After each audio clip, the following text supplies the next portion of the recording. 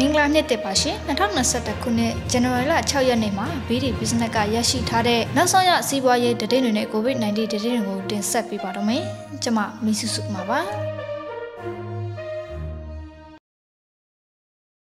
စိုးရက COVID-19 ကာကွယ်ဆေးဝယ်ယူဖို့အမေရိကန်ဒေါ်လာတန်250နဲ့ကျပ်တန်ပေါင်း1000တို့ကိုမှတည်ပြီး COVID-19 ကာကွယ်ဆေးဝယ်ယူရရှိရေးရန်ပုံငွေကိုထူထောင်လိုက်တယ်လို့ဇန်နဝါရီလ9ရက်နေ့မှာစီမံကိန်းဗန္နာရေးနှင့်စက်မှုဝန်ကြီးဌာနကထုတ်ပြန်ကြေညာလိုက်ပါတယ်။နိုင်ငံတော်ကမှတည်ရန်ပုံငွေကျပ်338ဘီလီယံနဲ့ညီမျှတဲ့အမေရိကန်ဒေါ်လာတန်250ကိုနိုင်ငံခြားငွေစည်းရင်းဖြစ်၎င်းကျပ်တန်1000ကိုမြန်မာကျပ်ငွေစည်းရင်းဖြစ်၎င်း COVID-19 ကာကွယ်ဆေးဝယ်ယူရရှိရေးရန်ပုံငွေတွင်းမှာထည့်သွင်းပေးထားပါတယ်။ COVID-19 ကာကွယ်ထိန်းချုပ်ကုသရေးမြို့သားစစ်ဗဟိုကော်မတီအနေနဲ့ကာကွယ်ဆေးဝယ်ယူရေးအတွက် COVID-19 ကာကွယ်ဆေးဝယ်ယူရရှိရေးစီမံခန့်ခွဲမှုဆက်ကော်မတီကို2020ဒီဇင်ဘာ30ရက်ကဖွဲ့စည်းခဲ့ပြီးဆိုပါဆက်ကော်မတီက COVID-19 ကာကွယ်ဆေးဝယ်ယူရရှိရေးရန်ပုံငွေကိုနေပြည်တော်မြန်မာစီးပွားရေးဘဏ်မှာဖွင့်လှစ်ထားတယ်လို့သိရပါတယ်။လူဒန်းလိုသူတွေအနေနဲ့မြန်မာစီးပွားရေးဘဏ်နေပြည်တော်နိုင်ငံခြားစီရင် ETC 600012ထံမြေတိနိုင်ငံခြားငွေမဆိုလူဒန်းနိုင်ကြောင်းထုတ်ပြန်ထားပြီးမြန်မာကျပ်ငွေလှူဒန်းလိုသူတွေကတော့ကျပ်ငွေစင် OA 013733တို့လှူဒန်းနိုင်ကြောင်းစက်ကော်မတီကကြေညာထားပါတယ်။ယခုလိုပြည်သူတွေပါဝင်လှူဒန်းနိုင်ကြောင်းဖိတ်ခေါ်ခဲ့ပြီးနောက်18ကုမ္ပဏီအောက်စုမြန်မာရှေ့ဆောင်ဘဏ်နဲ့ဒန်ကိုကုမ္ပဏီတို့ရဲ့ဥက္ကဋ္ဌဖြစ်သူဦးချစ်ခိုင်ကဇန်နဝါရီလ9ရက်နေ့မှာကြာရောက်တဲ့သူ့ရဲ့မွေးနေ့လှူဖြစ်အမေရိကန်ဒေါ်လာတသန်းခွဲကိုကာကွယ်ဆေးဝယ်ယူရန်လှူဒန်းလိုက်ကြောင်း Facebook စာမျက်နှာမှာကြေညာခဲ့ပါတယ်။နိုင်ငံတော်ရဲ့အတိုင်းပင်ခံပုဂ္ဂိုလ်တော်အောင်ဆန်းစုကြည်ကလည်းသူမရဲ့နှစ်တကူမိတ်ခွန်းမှာမြန်မာနိုင်ငံအနေနဲ့အိန္ဒိယနိုင်ငံ Serum Institute of India ထံက COVID-19 ကာကွယ်ဆေးဝယ်ယူဖို့ရောင်းဝယ်စာချုပ်ချုပ်ဆိုပြီးဖြစ်ကြောင်းထည့်သွင်းပြောကြားခဲ့ပြီးယခုနှစ်ဖေဖော်ဝါရီလအတွင်းမှာစတင်ထုတ်နှံပေးမယ်လို့ဆိုထားပါတယ်။မြန်မာနိုင်ငံအနေနဲ့ COVID-19 ကာကွယ်ဆေးကိုအခြားနိုင်ငံတွေနေတူရရှိရေးအတွက်တိုင်းပြည်ဘတ်ဂျက်အပြင်ကမ္ဘာ့ဘဏ်အာရှဖွံ့ဖြိုးရေးဘဏ်ဂျပန်ကြိုက်ကာနဲ့ IMF တို့ထံကနေချင်းငွေရရှိရေးအတွက်ညှိနှိုင်းဆောင်ရွက်မှုတွေပြုလုပ်နေကြောင်းစီမံကိန်းဗဏ္ဍာရေးနှင့်စက်မှုဝန်ကြီးဌာနအမြဲတမ်းအတွင်းဝန်ဦးထွန်းထွန်းနိုင်ကပြောကြားထားပြီးကမ္ဘာ့ပန်ထံကအမေရိကန်ဒေါ်လာတန်း60အာရှဖွံ့ဖြိုးရေးပန်ထံကဒေါ်လာတန်း250နဲ့ဂျပန်ကြိုက်ကထံကဂျပန်ယန်30ဘီလီယံရရှိရေးဆောင်ရွက်နေတယ်လို့ဆိုထားပါတယ်။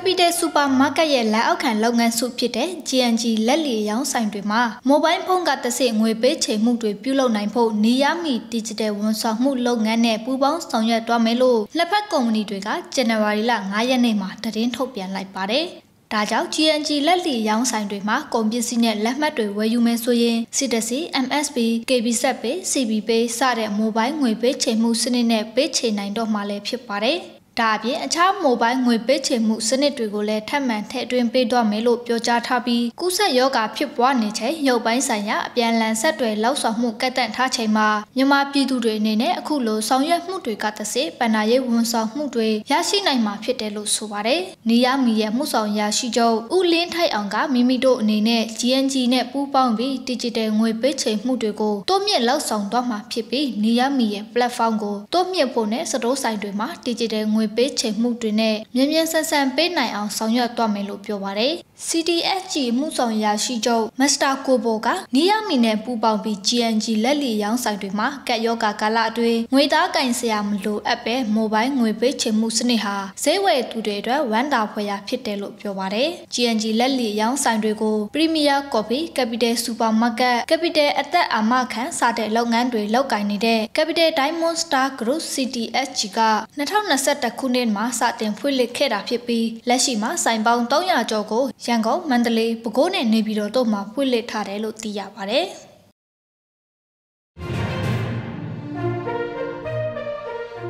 2021ခုနှစ်ဇန်နဝါရီလမှာတရုတ်နိုင်ငံကိုကျွဲနွားအရှင်တရားဝင်တင်သွင်းခွင့်ရရှိတော့မယ်လို့ပြီးခဲ့တဲ့ဒီဇင်ဘာလကသတင်းရရှိခဲ့ပေမဲ့လက်ရှိမှာတော့လာရောက်ဝယ်ယူမှုမရှိသေးဘူးလို့မန္တလေးတိုင်းဒေသကြီးကျွဲနွားတင်ဖို့ရောင်းချသူများအသင်းဥက္ကဋ္ဌဦးစိုးနိုင်က BD Business ကိုပြောပါတယ်မြန်မာအစိုးရနဲ့တရုတ်အစိုးရကြားကျွဲနွားတွေကိုတရားဝင်ရောင်းချခွင့်ရရှိဖို့အတွက်ဆွေးနွေးမှုတွေလှုပ်ဆောင်နေဆဲဖြစ်ပြီးလှုပ်ဆောင်ရမယ့်လုပ်ငန်းစဉ်တွေများပြားတာကြောင့် အစီအစဉ်တကျလောက်ဆောင်ဖို့လိုအပ်တယ်လို့ဦးစိုးနိုင်ကဆိုပါတယ်။ယူနန်ပြည်နယ်ဒုတိယအုပ်ချုပ်ရေးမှူးမစ္စတာလျိုဟုံးကျန်းကတော့စကုတ်ကျင်မြောက်အဖြစ်ပြုလုပ်ခဲ့တဲ့မြန်မာတရုတ်နယ်စပ်ကုန်တွယ်ရေးအွန်လိုင်းကုန်စည်ပြပွဲမှာနယ်စပ်ဒေသမှာတရားမဝင်ကုန်တွယ်မှုတွေပပျောက်ရေးအတွက်ဝိုင်းဝန်းပူးပေါင်းဆောင်ရွက်ကြဖို့ပြောကြားခဲ့ပြီးအသားစားနွားတင်ပို့ရေးလုပ်ငန်းတွေကိုဆက်လက်ပူးပေါင်းဆောင်ရွက်လိုတယ်လို့ပြောကြားခဲ့ပါတယ်။ လက်ရှိမှာကျွဲနွားတွေကိုတရုတ်နိုင်ငံဘက်ကဝယ်ယူမှုရပ်ဆိုင်းထားတာလေးလနီးပါးကြာမြင့်နေပြီးတရုတ်နိုင်ငံဘက်ကကျွဲနွားတွေကိုတရားဝင်တည်တွင်းခွင့်ပြုလိုက်မယ်ဆိုရင်ယခုတရားမဝင်အယောင်းဝယ်စိန်နှုံးထက်ပုံမကောက်မွန်လာမှာဖြစ်တယ်လို့ဦးစိုးနိုင်ကဆိုပါတယ်။အဲလောလောဆယ်တော့အဲ့ဒီအချင်းဒီအတိုင်းပဲရှိပါသေးတယ်အဲ့တော့ကျွန်တော်တို့ကဒီတလားပိုင်းကုံကိုပဲလကုံလောက်ကို ဟိုတရားဝင်ဝယ်မဲဆိုတဲ့ဟာအခုလေလာစမ်းပိုင်းရောက်လာပြီဆိုတော့အဲ့ဒါကိုပဲမျောနေတော့ပါပဲအဲအဲ့ဒါအခုတော့လောလောဆယ်တော့မထူးသေးဘူးလာကုံလောက်မှဝယ်မယ်လို့တော့ပြောနေတာပဲအခုကလာစမ်းပိုင်းဆိုတော့ အဲ့တော့လာကုန်ပိုင်းတော့စောင့်ကြည့်ရမှာပေါ့သုံးသပ်မေးတာတော့ကျွန်တော်ကတော့ကျွန်တော်တယောက်တည်းဘယ်လိုသုံးသပ်လဲဆိုရင်တော့ကျွန်တော်မဖြစ်ဘူးလောလောဆယ်တော့ဒီလာမှာတော့မဖြစ်နိုင်ဘူးလို့ယူဆတာပဲပေါ့နော်လုံးတော့လုံးနေတယ်ဒါပေမဲ့ဒီလာပိုင်းဒီတလားပိုင်းတော့မဖြစ်နိုင်ဘူးဒီတလားပိုင်းပြီးမှဆိုရင်တော့ပြောလို့တော့မရဘူးပေါ့နော်ဘာလို့ဆိုတော့သူတို့ရေးလှုပ်ဆောင်ချက်ကတော့လုံနေတာတော့လုံနေတာပဲဒါပေမဲ့တလားပိုင်းမှာအယောင်းငွေသွားရောင်းလို့ရမယ်လို့အနေထားတော့မမြင်ရဘူးတရားဝင်ပေါ့နော်ဟိုအရင်ပုံစံကတော့ဖြစ်ကောင်းဖြစ်နိုင်တယ်ဒီတရားဝင် G2G ပုံစံနဲ့ system နဲ့ကြတော့ကျွန်တော်ကတော့လောလောဆယ်ကတော့မမြင်ဘူးပေါ့နော်သူတို့ကလုတ်ကြရတွေကအများကြီးကျန်ပါသေးတယ်အခုက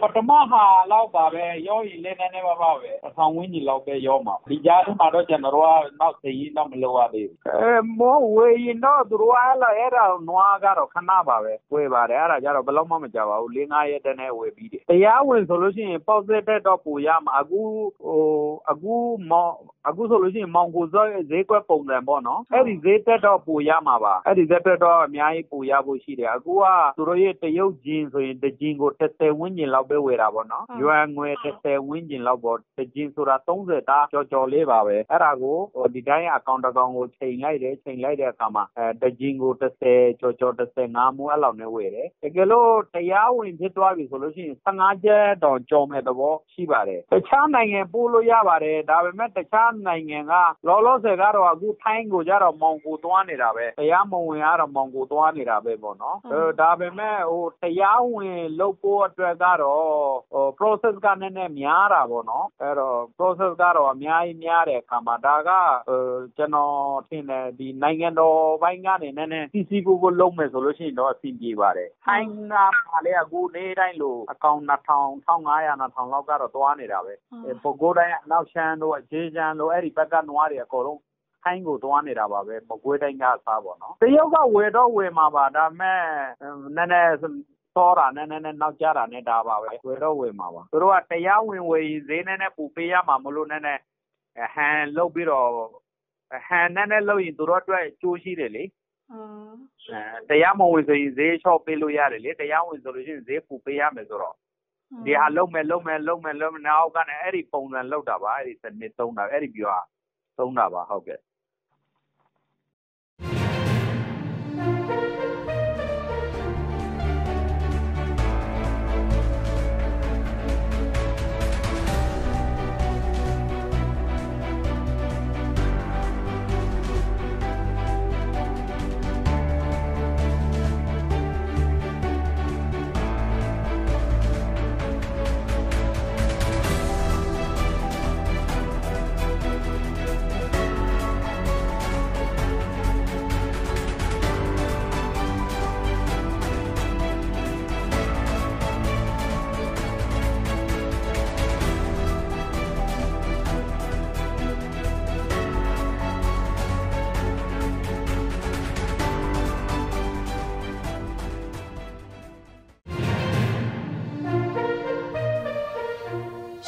ကိုစမ်းသပ်တင်ပို့ခဲ့တဲ့အစစ်လွတ်မြမဖရဲသည်အရေးအတွေးပိုင်းဆိုင်ရာရလက်ကောင်းထွက်ပေါ်ခဲ့တဲ့အတွက်ထပ်မံတင်ပို့သွားမှာလို့ဖူဂျာကလိုရင်ကုမ္ပဏီလီမိတက်ရဲ့စီမံအုပ်ချုပ်မှုဒါရိုက်တာကိုကျော်ကိုကိုဝင်းက BD Business ကိုပြောပါတယ်။ပြီးခဲ့တဲ့ဒီဇင်ဘာလ23ရက်ကမြမအစိလို့ဖရဲတီတန်ချိန်20ကျော်ကို UAE နိုင်ငံကိုပထမအကြိမ်စမ်းသပ်တင်ပို့ခဲ့ကစမ်းသပ်မှုအောင်မြင်ခဲ့တဲ့အတွက်တစ်နှစ်ပတ်လုံးတင်ပို့နိုင်ပြီလို့သိရပါတယ်။ ဒီလိုမျိုးတင်ပို့နိုင်ဖို့အတွက်နေပြည်တော်တက်ကောင်းတဲ့တောင်ငူတွေမှာစိုက်ပျိုးလို့နေပြီးဖေဖော်ဝါရီလမှာပို့ဖို့ရှိတယ်လို့ကိုကျော်ကိုကိုဝင်းကပြောပါတယ်။ UAE နိုင်ငံကိုတင်ပို့တဲ့အခါမှာအေအေခန်းကွန်တိန်နာတင်ပို့နဲ့ပို့ရတာဖြစ်ပြီးမြန်မာနိုင်ငံကနေ UAE နိုင်ငံကိုရောက်ဖို့18ရက်ကြာမြင့်တာလည်းဖြစ်ပါတယ်။ UAE ဈေးကွက်ရဲ့ဈေးနှုန်းအခြေအနေကတရုတ်နိုင်ငံကိုတင်ပို့နေသလိုဈေးနှုန်းအတက်ကြဖြစ်ပေါ်မှုတွေမရှိဘဲဈေးနှုန်းတည်ငြိမ်တဲ့အတွက်အဓိကတင်ပို့တာဖြစ်ပြီးနိုင်ငံတော်ဆိုရအနေနဲ့လည်း ပူပေါင်းပါဝင်ပေးဖို့အတွက်လိုအပ်တယ်လို့ကိုကျော်ကိုကိုဝင်းက BD Business ကိုအခုလိုပြောကြားထားပါတယ်။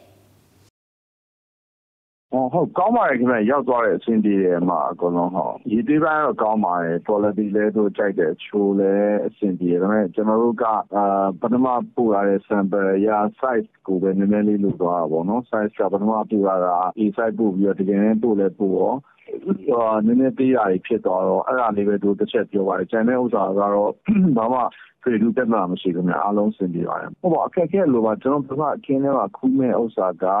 အဲ့အဲ့အခင်းကပိုင်ရှင်ကရက်နောက်ဆုတ်သွားတဲ့အတွက်ကျွန်တော်လည်းလိုက်ဆုတ်ရတာပေါ့နော်အဲ့ဒါပါပဲဘာမှအထွေထူးတော့မရှိပါဘူးကျွန်တော်တို့ကမှာပါတယ်ခင်ဗျကျွန်တော်မှဟိုအမြဲတမ်းပို့ဖို့လည်း planning ရှိပါတယ်လောက်လည်းလောက်ထားပြီးပါပါတယ်ဒါပေမဲ့တခုရှိတာကျွန်တော်ကတော့အကြီးသွေးကို control လုပ်တာရယ်နောက်တစ်ခုက sizing control လုပ်တာအဲလုပ်ဖို့အတွက်နဲ့ပေါ့နော်ကျွန်တော်ခုကိုယ်တိုင်စိုက်ထားတဲ့ဒီတောင်ကူကိုကျွန်တော်အာတက်ကုန်းမှာလည်းစိုက်ထားရှိရပါတော့အဲ့နှစ်ခုအကူပဲကျွန်တော် February လထဲမှာ တက်ဖို့ရှိရခင်ဗျဟောအဲ့ရထွက်မှာလေဆိုတော့အဲ့မှာဆိုတော့ကိုစိတ်ကြိုက်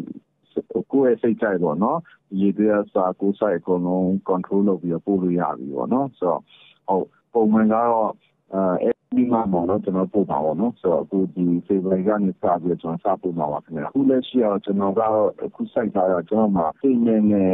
စိတ်နဲ့ပို့ရရှိတဲ့စိတ်နဲ့လိုပဲဥသာပေးပြီးတော့လုပ်သွားမှာပေါ့နော် ပို့သွားမယ်။ဘိုင်ယာဘက်ကလည်းအစိမ့်နဲ့ပို့ပြီးတော့လက်ခံတာပေါ့နော်။ပို့ပြီးတော့ချိုင်းမိတတ်တဲ့အတွက်အစိမ့်နဲ့ကိုပဲဦးစားပေးရတာပေါ့နော်။ကျန်တဲ့တပါးကိုအဲ့ exercise တွေကလည်းကျွန်တော်နောက်ဟိုကြိုးစားနေတော့ပေါ့နော်ဒီပို့ဖို့လည်းကျွန်တော် try နေပါတယ်ခင်ဗျာ။တန်ချိန်ကတော့ပို့မှာအများတော့ကျွန်တော်တို့ပန်ဒေနာပဲပို့နေကြတယ်။တန်ချိန်ကတော့မှတော့ပါမှာပါ။ဒီလုံးကလည်းအတိတ်မှာလည်းတော့ဘယ်လိုလဲဒီလိုစီးတော့အရင်ကပမ်ကန်ပေါ့နော်။ ဒီမှာတော့တကယ် international trade တာစီးပဲပါမှာပေါ့နော်အဲ့လိုမျိုးပါနော်ဟုတ်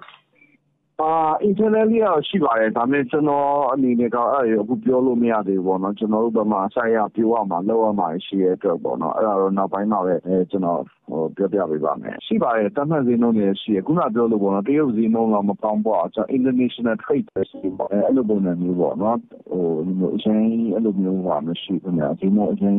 ဟိုတရုတ်ပြည်ရဲ့ချိန်မှုမျိုးမဟုတ်ဘူးပေါ့နော်မှာဟုတ်တရုတ်နဲ့အခုကတရုတ်ကအမတိတာဈေးတက်လိုက်တက်လိုက်ဖြစ်နေတာဟိုကျွန်တော်တို့ကကျွန်တော်တို့ကျတော့အဲ့လိုမျိုးမရှိတပြေးရဲပဲသွားတာပေါ့နော်ဆိုတော့ဈေးနှုန်းကလည်းအတင်းတင်ပါပဲအတင်းတင်နေမှာဟုတ်ကျွန်တော်တို့ကျတော့ခုနပြောလို့ဒီဒီကျွန်တော် network ပေါ့နော်ကျွန်တော်တို့ဒီ network တစ်ခုကနေပြီးချိန်ပြီးတော့ပြန်ပို့တာပါတန်ရုံမျိုးမဆိုင်ဘူးများတန်ရုံဘက်နဲ့လည်းတော့မဟုတ်ဘူးပေါ့နော်ဟို B2B အစိုးရနဲ့ GDP ပုံစံမျိုးလည်းမဟုတ်ဘူးပေါ့ ဒီတိုင်း networking တစ်ခုကနေပြီးချိန်ပြီးတော့ပဲအဲဟိုဘက်ကုမ္ပဏီနဲ့တန်းချိတ်ပြီးတော့အရောင်းမယ်လို့ပြောပါခင်ဗျာလုပ်ပါရင်ကျွန်တော်ကကျွန်တော်တနည်းပတ်လုံးစိုက်လို့လည်းလုပ်တယ်အခုကောင်းကြီးမှာလည်းစိုက်ထားပါတယ်ခင်ဗျာဟိုစက်ကုန်းဘက်မှာလည်းစိုက်ထားတာပေါ့နော်ကျွန်တော်တို့တော်များများပို့ဖို့တော့လုပ်ထားပါတယ်ခင်ဗျာဟုတ်အခုကျွန်တော်လည်းဒီဒီအဓိကတော့ဒီဟိုမြန်မာ product ကိုလည်းငါပို့ခြင်းက main concept တစ်ခုပေါ့နော်ပြီးတော့လို့ရှိရင်ဒီဒီ zero တည်နေမှုတော့ပေါ့နော်အဲ့ဒါတော့မန်ကြတာဒါတော့ဟို ဒါဒါတခုရဲ့နေပြီးနေလို့လည်းမရဘူးပေါ့နော်ကျွန်တော်တို့ဒီဆိုရဘက်ကလည်းပူပေါင်းပြီးတော့ပြီးတော့ရှင်းလုံးကြီးတွေမှလည်းရမှာပေါ့နော်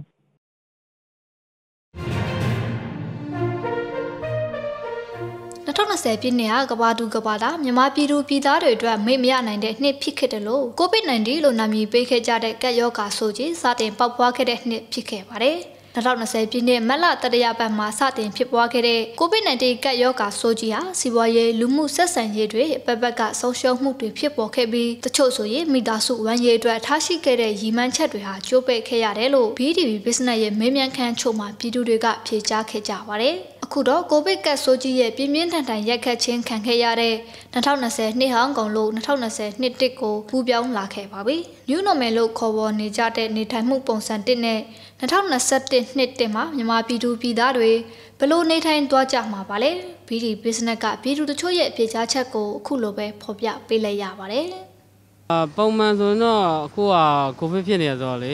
new normal life မှာပုံမှန်ဆိုတော့ကျွန်တော်နှစ်ကုန်ပိုင်းတွေမှာခီးသွားဖြစ်တယ်ဗျအာဒီနှစ်ကတော့ခီးသွားပြဖို့မရှိတော့ဘူးဆိုတော့လေအိမ်မှာပဲနေနေရအများစုကအိမ်မှာပဲနေနေရဗျအခုတော့အလုပ်ကိစ္စရှိလို့ဒါကျွန်တော် full time လုပ်တော့ပတ်တိုင်းခဏလာဝင်စင်းတာပဲရှိရအလုပ်က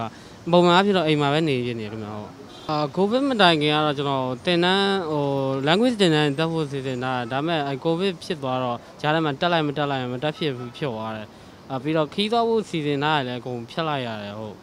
ဟိုအစတော့ကတော့မော်လမြိုင်နဲ့ချောင်းသာသွားဖို့လုပ်တာအဲ့ဒါဖြတ်လိုက်ရတယ်များဟုတ်2021တော့အာမျောတော့မျောလင့်တာဒါပေမဲ့အများကြီးတော့မမျောလင့်တာဘူးလေအခုကသတင်းကတစ်ခုပြီးတစ်ခုဖြစ်နေရဆိုတော့ တိတ်ပြီးတော့အများကြီးမျောလင့်ထားတာတော့မရှိဘူးများဟုတ်ကိုဗစ်မတိုင်ခင်တုန်းကတော့ကိုဘကိုယ်ရီမန်ချက်ကလေးကအယောင်းဝက်လေးကလည်းအဆင်ပြေရလေအဆင်ပြေတဲ့ကကြတော့ကိုယ်ရီမန်ချက်ကလေးကိုကိုဘကိုအကောင့်ထဲဖော်မယ်ပေါ့မိသားစုလေးစီစီလုံးလုံးလေးနဲ့အကုန်လုံးအဲ့လိုမျိုးစီစဉ်ထားတာအခုတော့ရီမန်ချက်တွေအကုန်လုံးနဲ့တစားတွေအေဂျင့်ပဲဖြစ်ဖြစ်သွားပြီဘာမှရီမန်းလို့လည်းမရတော့ဘူးသမီးလိုပဲပြပြဒီကိုဗစ်ကြောင့်လေကိုဗစ်ကြောင့်လူတွေကလည်းအပြစ်မထွက်ရကြတော့ဘူး ကိုယ်တွေလည်းအပြင်မထွက်ပဲဟိုစားနိုင်ငံတော်အစိုးရထုတ်ပြန်တဲ့အတိုင်းလိုက်နာကြမှာတယ်ဒါပေမဲ့စာဝတ်နေရေးအတွက်ကိုကဘလို့မှဟိုဟာလို့လိုက်နာလို့မရလို့လေဘလို့ပဲဖြစ်ဖြစ်အခုဟာဟိုအကိုတို့ကတနေ့လုံးမှတနေ့စားရတာလေအခုနိုင်ငံတော်အစိုးရထောက်ပံ့ရေးပေးတယ်ဆိုတော့ကိုတို့ကမရအောင်မရဘူးအခုဖောက်တော့ဖောက်တော့တင်ထားတယ်ကြမလားမကြမလားတော့မသိဘူးဒါပေမဲ့အဲ့လိုမျိုးပေါ့တထေးရောက်ကမှနေတော့တထေးစရင်နဲ့တွေဝင်နေတော့အဲ့လိုမျိုးတွေဖြစ်နေ 2021ကိုဖြတ်တန်းဖို့ဆိုတာစိတ်ကူးရတော့မဝင်သေးပါဘူးသမီးရဲ့ဘာလို့လဲဆိုတော့ဒီပိုးတွေနဲ့အယောင်းရောက်ဈေးဈေးရောင်းစားတဲ့ကကြတော့ကိုပိုးတွေနဲ့ရောင်းလိုက်ပိတ်လိုက်ရောင်းလိုက်ပိတ်လိုက်နေဆိုတော့မိသားစုအရေးကိုဘလို့လုံးဝအမှန်ဟိုးမသိသေးဘူးသမီးရဲ့အဓိကတော့ဒီကိုဗစ်ပေါ့နော်အခုလက်ရှိရင်ဆိုင်နေရတော့ကိုဗစ်ပေါ့ဒီကိုဗစ်ကိုဒီဒီ2000လာမယ့်နှစ်မှာလည်းဒီအကောင်းဆုံးပေါ့နော်ဟိုကာကွယ်ကာကွယ်နိုင်အောင်လို့ဒီအစိုးရအနေမှာ ဒီကျန်းမာရေးတရားထုတ်ပြန်ထားတဲ့စီကံချက်နဲ့အညီပေါ့လေနော်အကောင်လုံးအဲ့လိုမျိုးနဲ့ဒီဘယ်လိုခေါ်မလဲအညီပေါ့နော်နေထိုင်နေတဲ့အဲ့လိုပေါ့ဒီကိုဗစ်ကအနေမှာအဓိကတော့ဒီကျန်းမာရေးအတွက်ကိုအရင်ဆုံးဖြတ်သားမှာပေါ့နော်အဲ့ဒါကောင်းမယ်ဆိုကျန်တာလည်းအကုန်လုံးအဆင်ပြေလာမယ်ပေါ့နော်တစ်ဖြည်းဖြည်းနဲ့ပြန်ပြီးတော့ကျွန်တော်လည်းအခုတက်စီဆွဲဆိုရင်လည်းအခုလည်းဒီဒီလိုအပ်တဲ့ဟာလေးပေါ့နော်အကာအကွယ်လေးနဲ့အဲ့လိုမျိုးပဲဆွဲပါတယ်ဟုတ်ကဲ့ပြီးတော့အစီအစဉ်လေးတော့ရှိပါအဓိကတော့ဒီမိသားစုနဲ့ပေါ့နော်ဒီဘယ်လိုခေါ်မလဲဒီစိတ်အပန်းဖြေဖို့ရအတွက်ကိုမှ